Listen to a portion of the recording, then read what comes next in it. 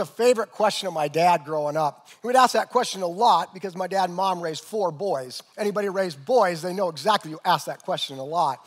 So, like when my dad would come into the, the bedroom at night, and long after we were supposed to be sound asleep, the lights off, he would walk into the middle of a pillow fight that was raging, lights on, boys screaming on both sides, pillows flailing away. And my dad would ask that question What in the world is going on?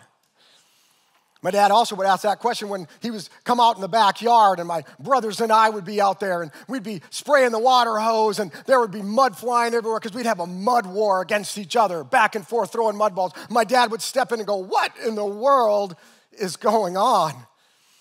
Well, I grew up in Minnesota too, so my dad during the wintertime, he'd pull in the driveway and he'd find himself in the middle of a snowball fight that was raging between two sides of his sons back and forth. And my dad would say, What in the world is going on?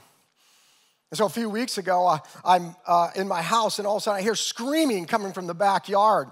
And so I, I run through the house to see what's going on. I come out on the patio, and there on the patio, there's water spraying everywhere. My four year old grandson has the hose, and he's spraying on the 18 month old grandson, and two of the other grandkids are screaming and cheering, Yay! And I said, What, Shoreline?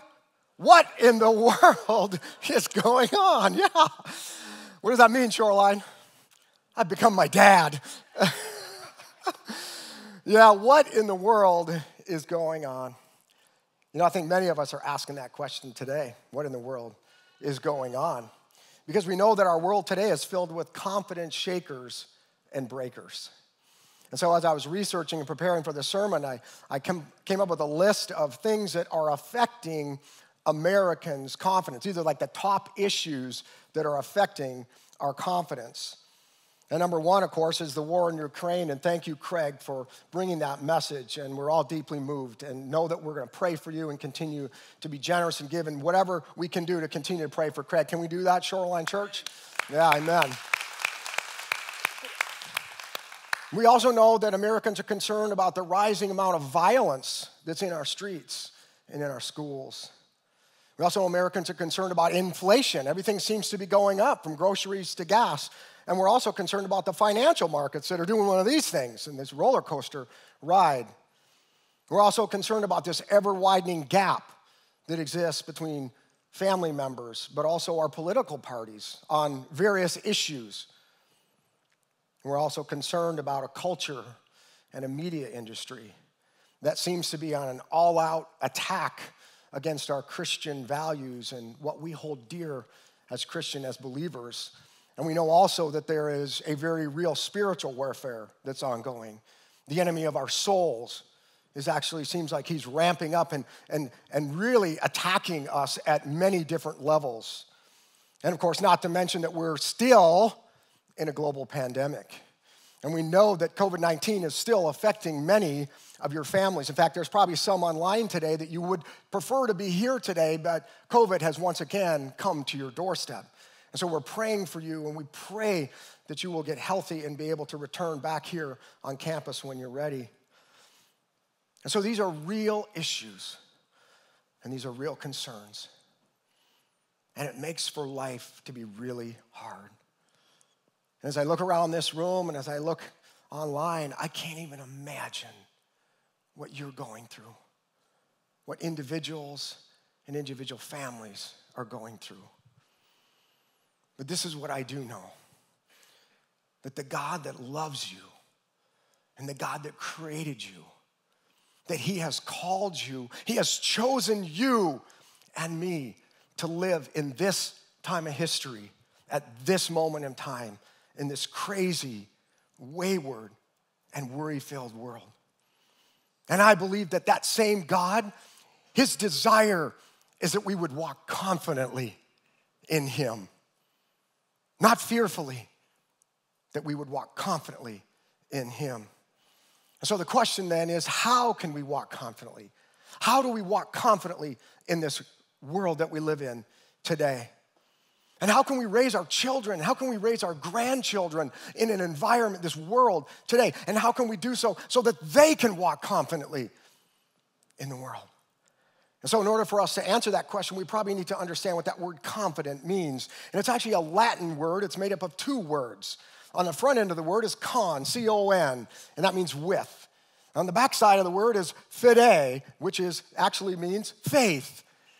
And so when we talk about walking confidently, what we're talking about is walking with faith.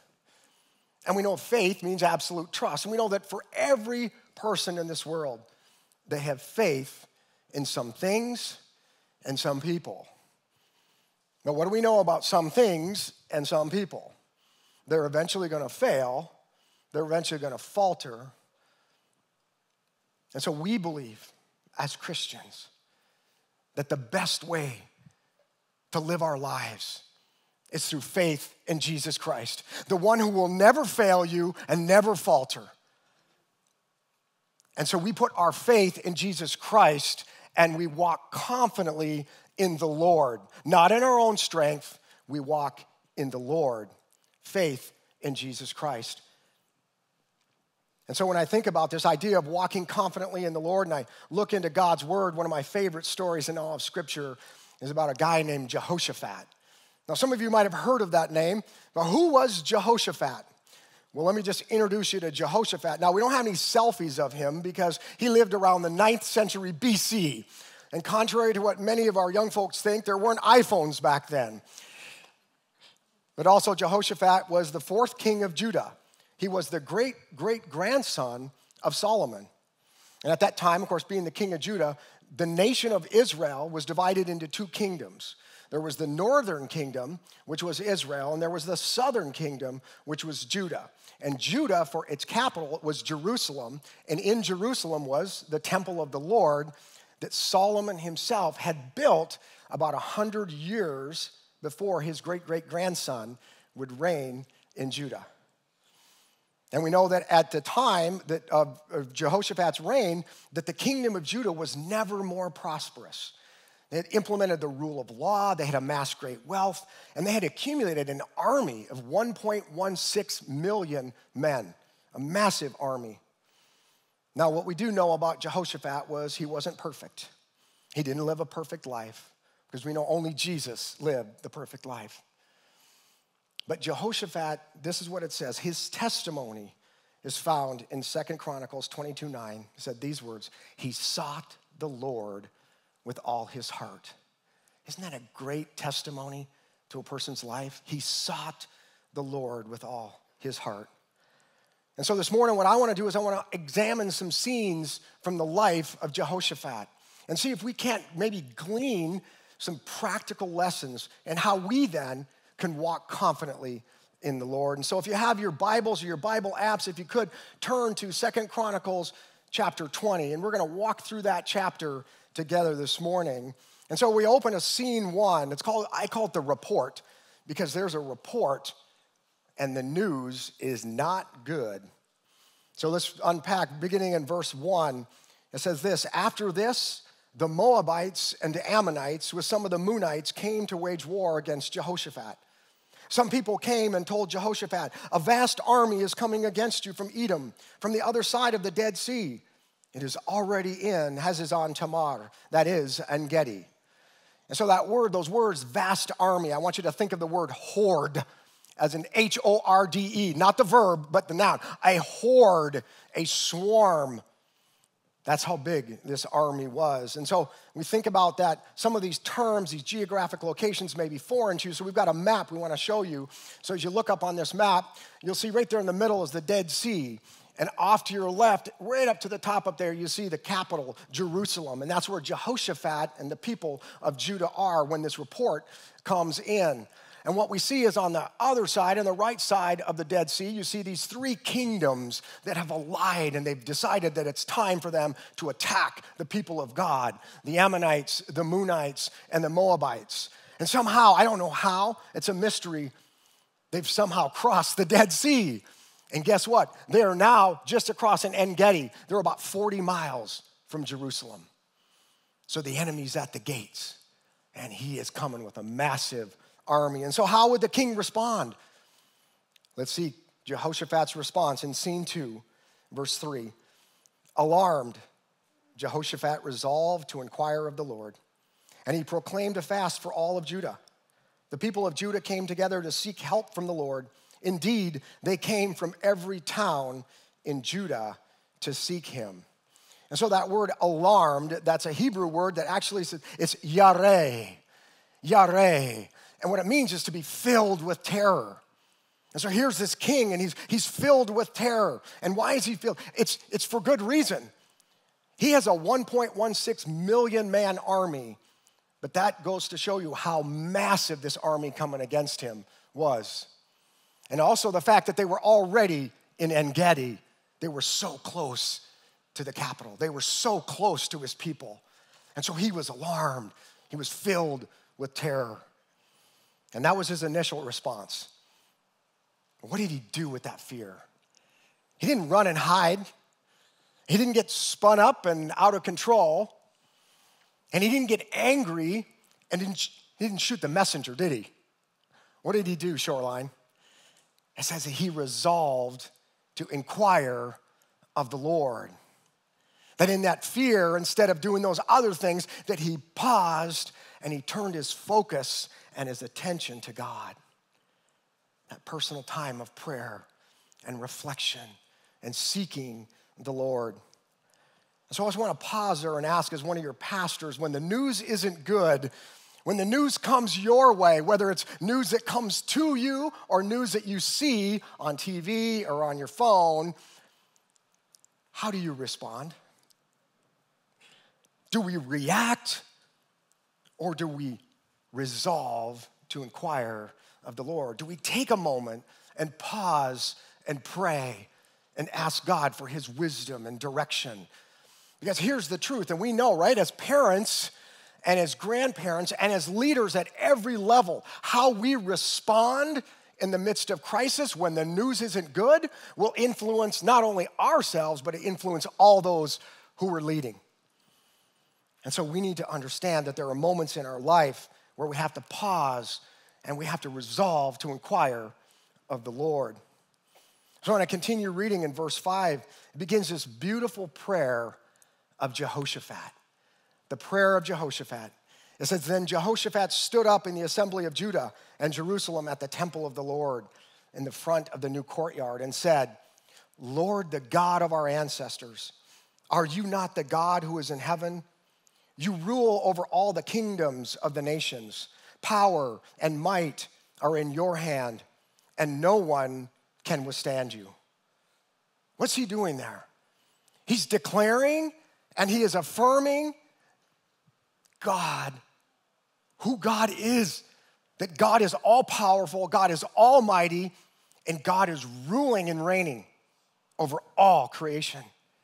He's declaring who God is. Continuing on in verse 7. It says, Our God, did you not drive out the inhabitants of this land before your people Israel and give it forever to the descendants of Abraham, your friend? And see, now what he's doing is he's remembering what God has done.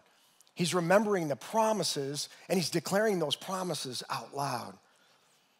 Move to verse 8. It says, They have lived in it and have built in it a sanctuary for your name saying, If calamity comes upon us, whether the sword of judgment or plague or famine, we will stand in your presence before this temple that bears your name and will cry out to you in our distress, and you will hear us and save us.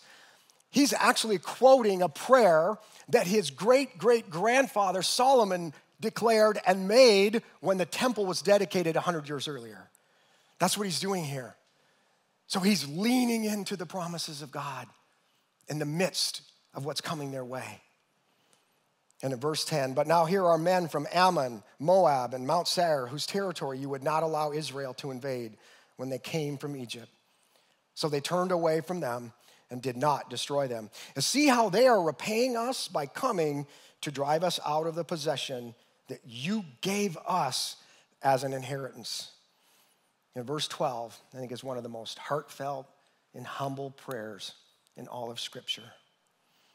It says this Our God, will you not judge them? For we have no power to face this vast army that is attacking us. We do not know what to do, but our eyes are on you. We do not know what to do, but our eyes are on you. See, the threat was real. There was real danger. And in the presence of the entire nation of Judah, their king, their leader declares he doesn't have the answer, but he knows who does. You talk about a great lesson in leadership right here humility, vulnerability, acknowledging complete dependency on God. That if there was going to be a victory, that victory was going to come through God alone. And I think that's a great lesson for us all. That's a lesson in faith for us that we don't have the answers when we look at the world's problems. And so all we can do is go, Lord, well, we know you do. You have the answer. And the answer is Jesus Christ. And so we can trust in God. And so we continue reading and see how God responds here. In verse 13, it says, All the men of Judah with their wives and children and little ones stood there before the Lord. Can you imagine the silence in that moment?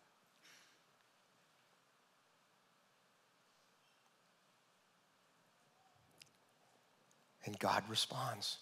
Verse 14. Then the Spirit of the Lord came on Jahaziel, son of Zechariah, the son of Benaiah, the son of Jael, the son of Mattaniah, a Levite and descendant of Asaph, as he stood in the assembly. And he said, Listen, King Jehoshaphat, and all who live in Judah and Jerusalem. This is what the Lord says to you Do not be afraid or discouraged because of this vast army, for the battle is not yours, but God's. Tomorrow, march down against them. They will be climbing up by the pass of Ziz, and you will find them at the end of the gorge in the desert of Jeruel. You will not have to fight this battle. Take up your positions, stand firm, and see the deliverance the Lord will give you, Judah and Jerusalem. Do not be afraid. Do not be discouraged. Go out to face him tomorrow, and the Lord will be with you. Now, if that doesn't raise your confidence, I don't know what will. Amen? Amen? The Lord will be with you. Beautiful reminder. And we know that right in here, God says, don't be afraid and don't be discouraged. And He says it twice. Why does He do that? Because they were afraid and they were probably feeling discouraged. But God reminds them don't be afraid and don't be discouraged. Because why? Because I will be with you. A beautiful reminder.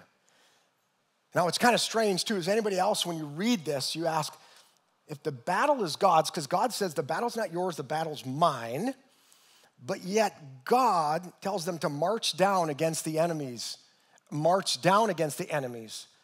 What's God doing there? Why not, why not just let them chill out and hang out in Jerusalem and let God go do all the fighting for them? Well, God could have defeated the enemies in many different ways. But what God chose was this was an opportunity, this was a faith partnership that God called them by faith to go out and watch the victory that He will bring.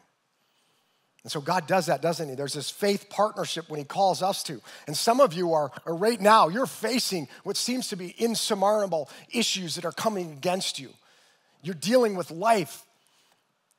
And God says, walk by faith, trust in me. So there's the faith partnership. And also, I believe this was a lesson. This was a confidence building lesson for the people of Judah. And so, what I want to do now is I want to just unpack this idea that we oftentimes think that God is going to just take care of business for us. But God, so often, as He does here, He called the people of Judah into partnership with Him. And so, whether it's overwhelming financial bills that are coming your way, or health concerns or whatever it might be, that God has ultimately won the victory in Jesus Christ, and He calls us to walk by faith with Him, even when the situation around us seems insurmountable. And so I want to jump back into verse 18 now. And we see in this, I want you to notice in this verse and the verses to follow, the different forms of worship that we see. In verse 18, we see Jehoshaphat bowed down with his face to the ground, and all the people of Judah and Jerusalem fell down in worship before the Lord. Then some Levites from the Kohathites and Korahites stood up and praised the Lord, the God of Israel, with a very loud voice. You see the two different forms of worship there? We have this reverential, humble bowing before the Lord, and then we have this standing declaration and yelling praise to God. That's two forms of worship. And what do we know? They haven't even gone into battle yet. And the people are already worshiping the Lord. It's a beautiful reminder to us. Verse 20 early in the morning, they left for the desert of Tekoa. As they set out, Jehoshaphat stood and said, Listen to me, Judah and people of Jerusalem. Have faith in the Lord your God, and you will be upheld. Have faith in his prophets, and you will be successful. So, where was Jehoshaphat's confidence here? His confidence wasn't in himself, and it wasn't in his army. It was where? It was in the Lord. Have faith in the Lord. And so, after consulting the people in verse 21, Jehoshaphat appointed men to sing to the Lord and to praise him for the splendor of his holiness as they went out at the head of the army, saying, Give thanks to the Lord, for his love endures forever. So now they're worshiping, heading out to battle, worshiping before the battle, worshiping through song as they head out to battle. Now, I want you to see in this picture who led them into battle. Was it the infantry? Was it the cavalry? Was it the archers? Who led them into battle? The worship team.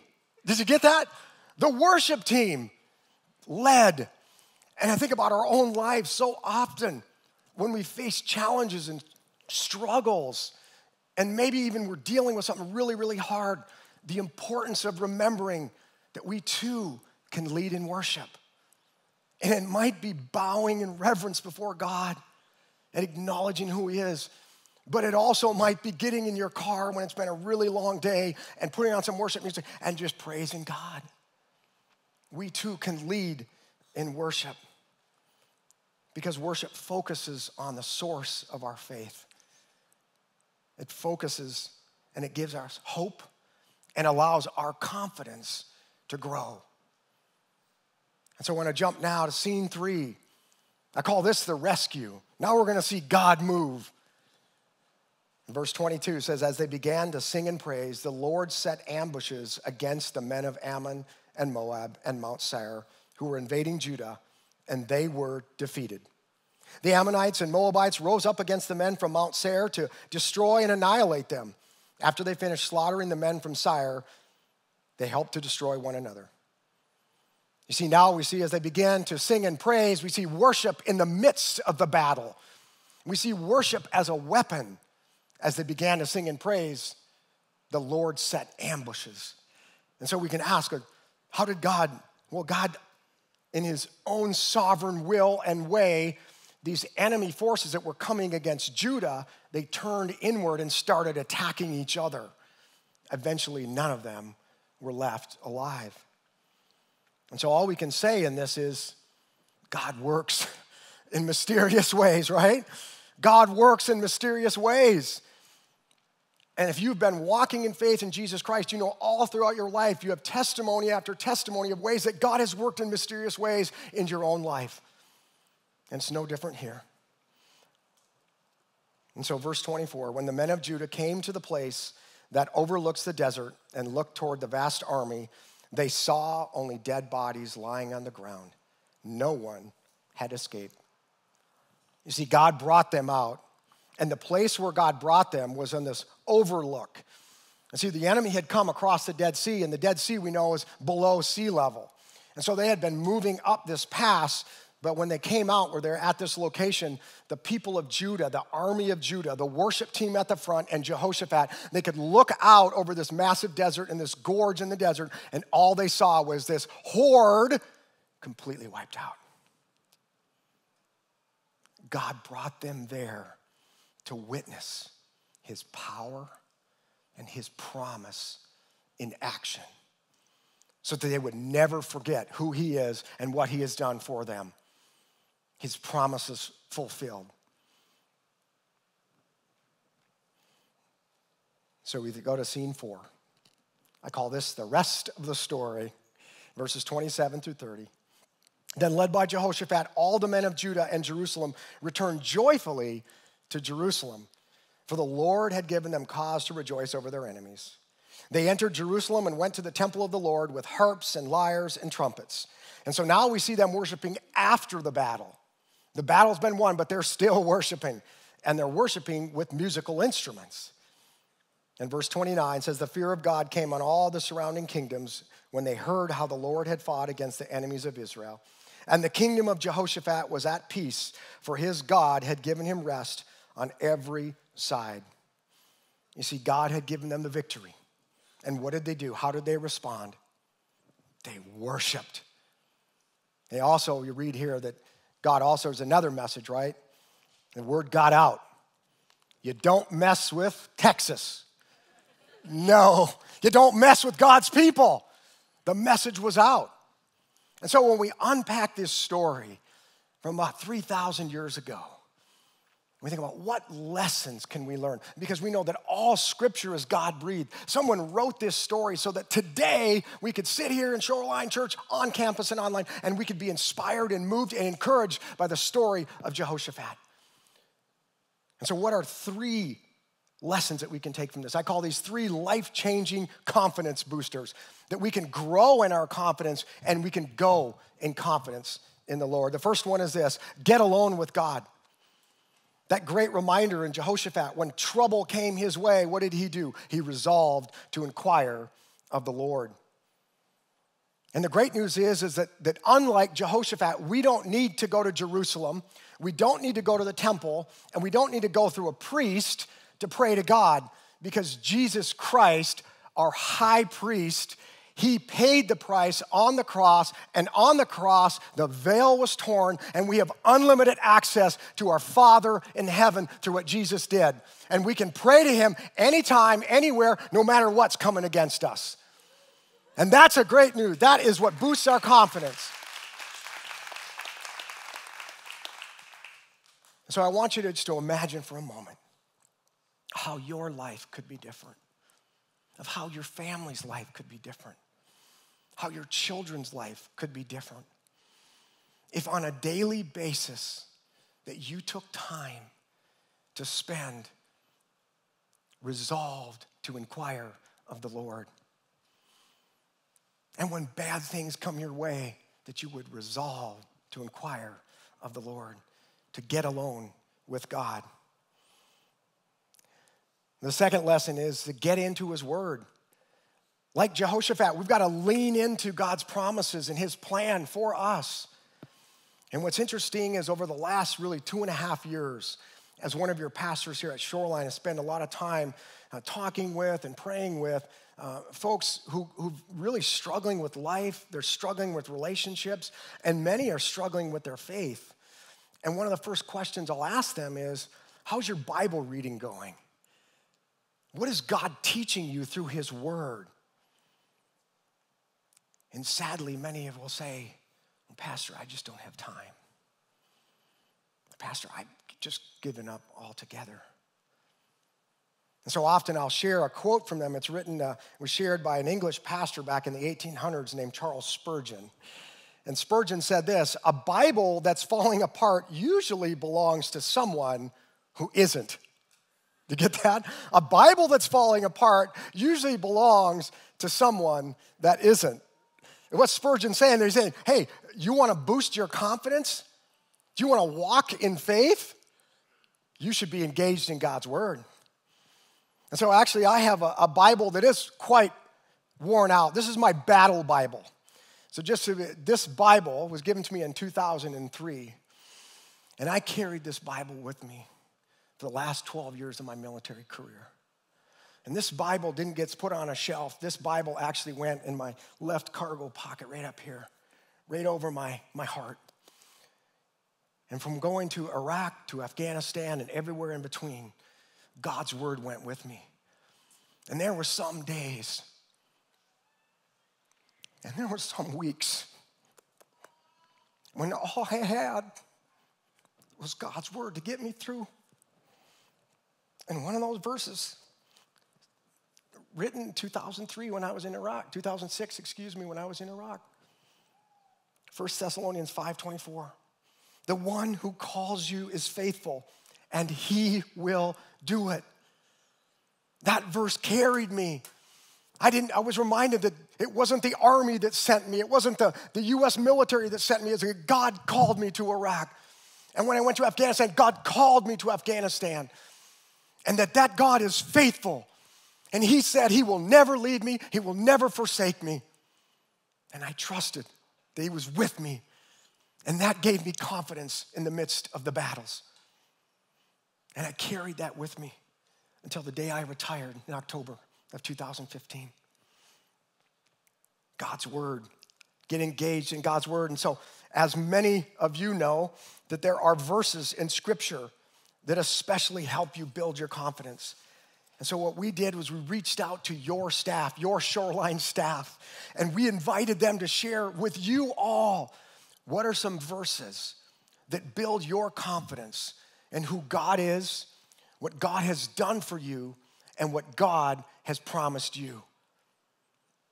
And their desire was that you would be encouraged, that you would be confident in the Lord as you read, as you reflect on these verses. And a couple of these verses, Joshua 1 9, you might know that a soldier would choose that one, right? Have I not commanded you? Be strong and courageous. Do not be afraid. Do not be discouraged, for the Lord your God will be with you wherever you go. Shift into the New Testament, Philippians 4, verses 4 through 7. Rejoice in the Lord always. I will say it again rejoice. Let your gentleness be evident to all. The Lord is near. Do not be anxious about anything but in everything, by every situation, by prayer and petition with thanksgiving, present your requests to God, and the peace of God, which transcends all understanding, will guard your hearts and minds in Christ Jesus. Your staff gave us four pages of Bible verses that have inspired confidence in their walk. And so we want to give that. This morning, you received an email and there's a link in that email where you can go to and you can access these verses. It's on the Shoreline app as well. We want to encourage you to not just think about it and read these verses, but take these verses and read them over your children, parents. Take these verses and read them over your grandchildren, grandparents.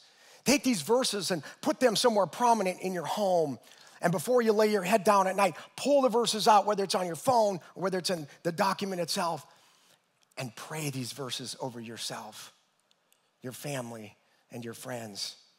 God's word inspires confidence.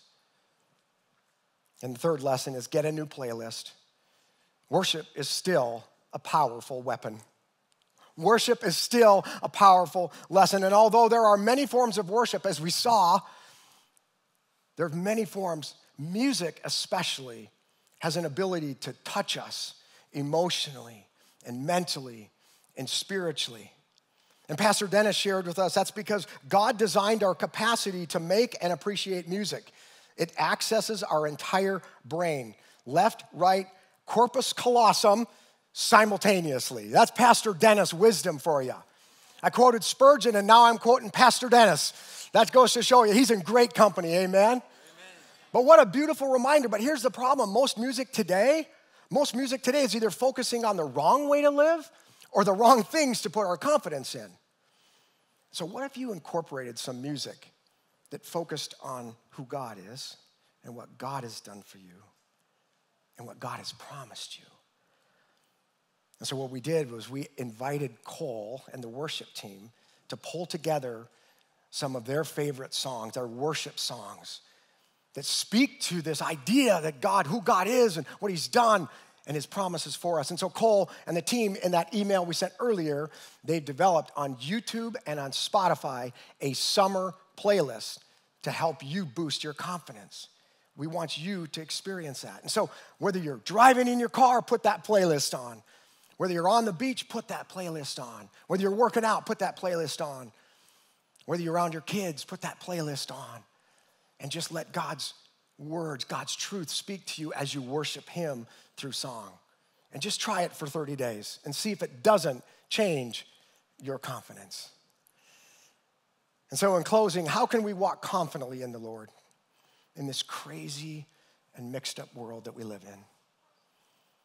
Well, we know that it's faith in Jesus Christ and it's focusing on Him every step of the way. Day after day, month after month, year after year, my faith in Jesus Christ, focused on Him, walking in confidence with Jesus. Amen. Amen. Lord Jesus, we thank you that ultimately you are the only one that we can put our confidence in. And so, Jesus, even though we know there are battles raging, that there are challenges that we are facing, that there are situations that seem insurmountable today, Jesus, we know that one of your promises is that you would never leave us, nor would you forsake us. And so we can draw comfort and confidence in knowing that when we place our faith in you, that you are eternally with us and you have made a place for us eternally with you in heaven. And so, Jesus, today, our prayer is that we would go from this place walking confidently, not in our strength, but in you, Lord. We thank you, Jesus. In your name we pray. Amen. Amen. Thank you, Pastor Shawn. Here at Shoreline, we love to pray with people. God calls us to prayer. He covets our prayers, whether it's a need, whether it's sharing something you're rejoicing in, but we will have people up front here. We'll have someone out in the courtyard to the right of the Jumbotron. And if you're online, just text the number on the screen. It'll come up on the screen, and we have a prayer team ready to pray with you. So we're thankful for that. And if you're new here or you've been here a few times, but you got a lot of questions, if you're online again, text that number on the screen, and we have people that will answer your questions. If you're here and you're new and want to, or been coming for a while, you want to learn some things, right across there in the Connection Center, we got a team of people that will answer the questions, get to know you, and they have a free gift for you as well. Also, Craig will be in the pergola out in the courtyard answering questions, anything you have on your mind and heart about CLDI in general, but Ukraine specifically. And if you feel led to continue to give, to the Ukraine effort, the one that we've uh, been doing, you can go on the Shoreline website or on the app and click giving, and there's an opportunity for you there. So I'd love to bless you as you leave this room today. Would you rise and join me? As Pastor Shawn was sharing verses, a verse came to mind for me. We have a, a mighty God who's all powerful, completely trustworthy, and completely faithful. So, First Thessalonians 5, verses 16 through 18, to me today is confidently going out in the world. Rejoice always, pray continually, and give thanks in all circumstances, for this is God's will for you in Christ Jesus. God bless you all. Have a great day. We'll see you next Sunday.